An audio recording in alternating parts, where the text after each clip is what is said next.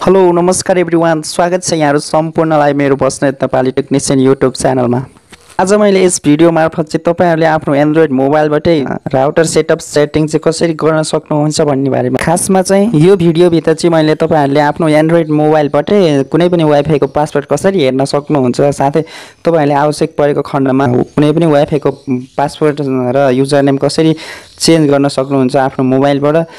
भन्ने कुरा जानकारी गराउन आइरहेको छु। आउनुहोस् केही नयाँ सिकौँ।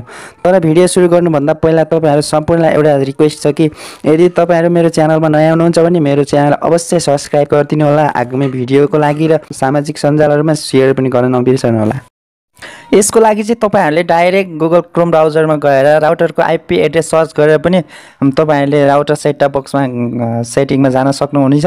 तर मैले चाहिँ तपाईँहरूले सबैलाई आफ्नो राउटरको आइपी एड्रेस थाहा नहुनसक्छ त्यही भएर कति सर्च गर्ने कहाँ गएर सर्च गर्ने भन्ने चाहिँ अलिक जाउ हुने भएको हुनाले मैले डाइरेक्ट तपाईँहरूलाई प्ले स्टोरमा भएको एउटा राउटर सेटअप सेटिङको माध्यमबाट चाहिँ तपाईँहरूलाई देखाउन गइरहेको छु यो राउटर सेटअप सेटिङले चाहिँ तपाईँहरूको कुन वाइफाईबाट कनेक्सन भइरहेको छ उसको आइपी एड्रेस आफै कनेक्सन गर्छ।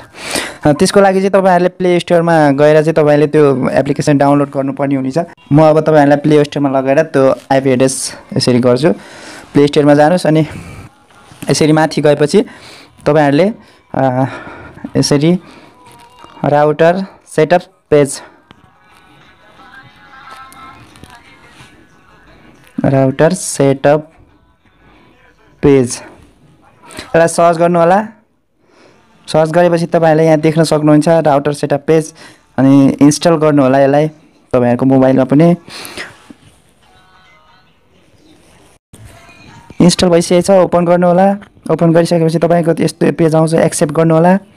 एक्सेप्ट गरेपछि ओपन राउटर पेज भन्ने छ तल। त्यसमा क्लिक गरेपछि। यसमा चाहिँ हेर्नु माथि आइपी एड्रेस देखाइरहेको छ वान नाइन टू कति भन्ने। यसरी फाइन्ड आउट गर्न सकिन्छ। ओपन गरेपछि तपाईँहरूले एउटा पासवर्ड र युजर नेम माग्ने छ युजर नेममा तपाईँहरूले एडमिन लेख्नु होला। त्यसपछि पासवर्डमा पनि एडमिन लेख्नु होला। प्रायः राउटरहरूको सेटअप सेटिङको लागि पासवर्ड र युजर नेम एडमिन एडमिन दुइटा हुन्छ। हेर्नु होला। त्यसपछि लगइन गर्नु होला। लगइनको बटनमा क्लिक गर्नु। त्यसपछि तपाईँहरूले यस्तो पेज देख्न सक्नुहुन्छ। हेर्नु। तपाईँहरूको मोबाइलमा चाहिँ कुन वाइफाईको पासवर्ड कति हो भन्ने कुरा चाहिँ अब यहाँ तपाईँहरूले वायरलेसमा जानुहोस्। त्यसपछि वायरलेसमा क्लिक गरेपछि वायरलेस सेक्युरिटीमा क्लिक गर्नु। त्यसपछि यतापट्टि साइडमा हेर्नुहोस्। यहाँनिर चाहिँ तपाईँहरूले पासवर्ड देख्न सक्नुहुन्छ। वायरलेस पासवर्ड भनेको छ यहाँनिर। स मेरो चाहिँ वाइफाईको wireless password S H A R चारवटा फाइभ रहेछ। तपाईँहरूले चेन्ज गर्नुको लागि चाहिँ त्यो एसएचएआर त्यो पासवर्ड देखाएको ठाउँमा चाहिँ क्लिक गर्नु होला त्यसपछि अनि जुन तपाईँलाई चेन्ज गर्न मन लागेको छ जे राख्न मन लागेको छ अँ, त्यो राख्नु होला। मैले चाहिँ यहाँ भरत बस्नेत बाह्र यसलाई चाहिँ टाइप गरेर पासवर्ड टाइप भइसकेपछि तल सेभमा गएर चाहिँ सेभ बटनमा क्लिक गर्नु। क्लिक गरेपछि तपाईँहरूको पासवर्ड यसरी सेभ भइसकेको छ हेर्नुहोस्। त्यसपछि तपाईँहरूले मोबाइल ब्याग जानुहोस् पुरै त्यसपछि माथि वाइफाईमा लङ प्रेस गर्नु होला।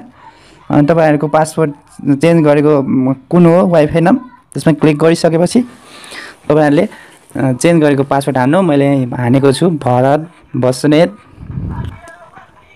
बाह्र। त्यसरी कनेक्सन गर्नु।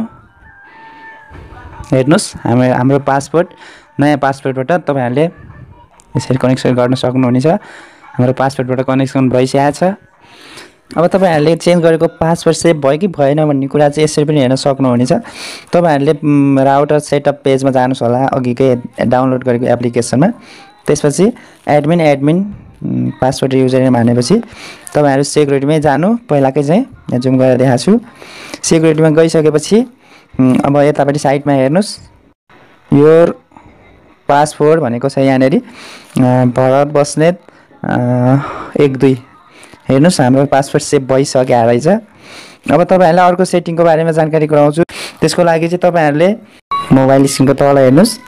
त्यसमा गइसकेपछि तपाईँहरूले सेट टुल भन्ने देख्नुहुन्छ। सेट टुलमा गएपछि तपाईँहरूले पासवर्ड भन्ने तल देख्नुहुन्छ। त्यहाँ क्लिक गर्नुहोस्। क्लिक गरिसकेपछि त्यहाँ तपाईँहरूले देख्न सक्नुहुन्छ old user name old password. तपाईँहरूको पुरानो युजर नेमको जे छ त्यो हान्नु होला माथि चाहिँ। अनि तल पासवर्ड हान्नुहोस्। त्योभन्दा तल आएपछि अब तपाईँहरूले चाहिँ कुन नाम दिन चाहनुहुन्छ जस्तो मैले चाहिँ भरत वाइफाई भनेर चाहिँ छोड्न चाहन्छु मेरो पासवर्डको नाम चाहिँ भने। भरत वाइफाई हान्छु। त्यसपछि नयाँ पासवर्ड के राख्नुहुन्छ? त्यहाँ गएर चाहिँ तपाईँहरूले नयाँ पासवर्ड चुज गर्नुहोस्। फेरि कन्फर्म पासवर्ड गर्नुहोस् र तल गएपछि सेभ गर्नुहुन्छ। यति गरिसकेपछि तपाईँहरूको तपाईँले चेन्ज गरेको कुन नाम दिनुहुन्छ? त्यसबाट चाहिँ तपाईँहरूले वाइफाई कनेक्सन गराउन गर्न सक्नुहुन्छ।